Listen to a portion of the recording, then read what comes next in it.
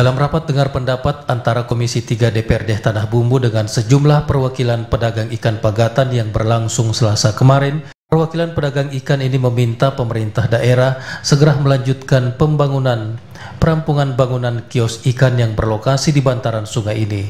Permintaan para pedagang ikan ini agar secepatnya mereka dapat menempati bangunan baru kios ikan ini. Rapat berlangsung dihadiri sejumlah dinas terkait, di antaranya Dinas Pekerjaan Umum, Dinas Pasar, dan Dinas Perizinan. Pembangunan pasar kios ikan Pagatan ini sendiri menjadi bagian dari pembangunan pasar Bumi Pangeran yang lokasinya tak jauh dari bangunan kios ikan ini.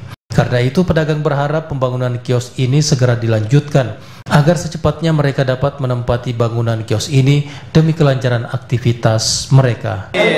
Perdagangan selama kurang lebih lima tahun di pesisir Jalan Anang Penaga, karena di sana kita sering di apa namanya, sering dihujat, diusir, eh, sehingga dengan adanya pasar tersebut kami memperjuangkan bahwa sekarang kalau seandainya bisa kita tempati bulan ini uh, harus saya tempati karena itu tadi permasalahan seperti itu segera Pak. Oke segera. Sementara itu menanggapi keinginan para pedagang ikan ini, anggota Komisi 3 DPRD Tanah Bumbu Andi Erwin Prasetya mengatakan pihaknya sangat memahami keinginan para pedagang ikan ini. Karena itu Komisi 3 meminta pemerintah daerah secepatnya menyelesaikan pembangunan kios ikan ini. Tadi kan sudah terjawab semua bahwasanya terkait masalah IMB-nya clear, terkait masalah amdalnya sudah diusulkan di 2015 ini untuk mengolah pembuangan air limbahnya, air limbah ikan basahnya ini sudah di, dianggarkan dan mungkin berproses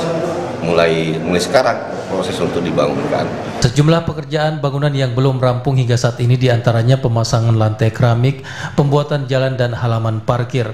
Saat ini juga tengah dirampungkan pembuatan dermaga apung yang nantinya akan mempermudah pedagang dalam melakukan aktivitas bongkar muat ikan. Pembangunan kios ikan Pagatan ini dibangun dengan menggunakan anggaran tahun jamak 2013-2015.